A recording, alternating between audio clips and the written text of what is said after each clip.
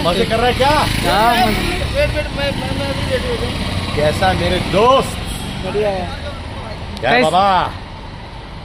अभी कैसा रहा इंटरव्यू भाई आपका अभी? विक्की भाई विक्की का भाई के साथ। इंटरव्यू था। अभी जा रहा हूँ संदीप संदीप वांगा रेड्डी को इंटरव्यू करने के लिए अंगार मचाने के लिए। भाई ये मेरा खुद का क्लोथ्स का लाइन है दोस्तों। जा जी हाँ जी हाँ। सर ये साइड आ जाओ। देख रहा क्या? टर्न जाओ। बस बस बस यहाँ पे। हाँ। ये लाइट है। तो अभी विक्की को इंटरव्यू किया। फिर संदीप वांगा को इंटरव्यू करने जा रहा हूँ। उसके बाद मनारा यहाँ पे आ रही हैं। जगह मत बताओ। और उसके बाद अभिषेक कुमार। तो यानी आज बहुत अंगार वाला दिन है। सबको तीखे तीखे सवाल पूछ रहे सच्चाई वाले सवाल पूछ रहे। साथ में ये मेरा नया क्लोथ लाइन है भाई। अंगार। तो ये आप लोग खरीद सकते हैं ऑनलाइन अंगार डॉट स्टोर पर। जो लोग अंगार मचाना चाहते हैं ना वो सब खरीदो यार। हुडीज हैं टी शर्ट्स हैं जंपर्स हैं। तो मेरी ज़िंदगी भर की मेहनत है ये। तो मैं जा रहा हूँ बांगा साहब के लिए मनारा के लिए वापस आ रहा हूँ। रुकोगे कि नहीं तुम हाँ। पक्का? पक्का। सब लोग बोलो अंगार। अंगार। भाई मुनावर के बारे में क्या कहना चाहोगे? मुनावर के बारे में क्या कहना भाई एक चीज़ है ऐसी फ़ैन फॉलोइंग बहुत कम लोगों की होती है और ये सच बात है। और मुनव्वर ने बहुत कठिनाइयाँ देखी है घर के अंदर।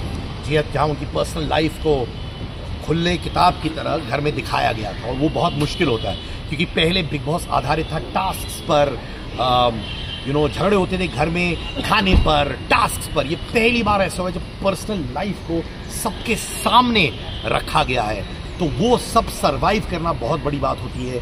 बहुत सारे लोग जो मुझसे मिल रहे हैं इंटरव्यूज़ के बोल रहे हैं कि मेंटली वो लोग बहुत थक चुके हैं टफ बनने की कोशिश है, क्योंकि ये पर्सनल लाइफ पूरी दुनिया के सामने दिखाना बहुत मुश्किल होता है। पर ये मैं जानता हूँ मुन्नवर जैसे जो भाई है, ज़िंदगी में बहुत कुछ देखा है। और जैसे उन्होंने कहा कि वो बेटर इंसान बन चुके हैं, इस शो के बाद वो सीखे अच्छी तरह। तो जो भी इस बिग बॉस सीज़न से बाहर आएगा वो ऑब्वियसली स्ट्रांगर बन के आएगा, क्योंकि मेरे हिसाब से this was one of the toughest season ever जहाँ पर्सनल लाइफ को सबके सामने कर दिया है।